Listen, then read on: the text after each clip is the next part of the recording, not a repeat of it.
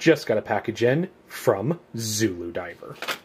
Now, before I go any further, I bought these myself. All this, this is with my money, so this is my opinion. They are not paying me for this, but I picked up a few interesting straps here.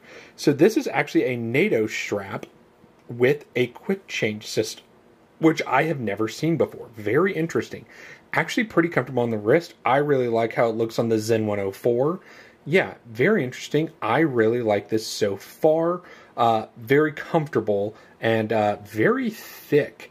Um, definitely thicker here and definitely a higher quality than I was expecting, which is a good thing. And then the next strap is going to be the sailcloth with a leather back here. I bought the black buckle here just that I switched out in order to match the beautiful Baltic Aquascaphe bronze. I love the way it turned out. Very nice.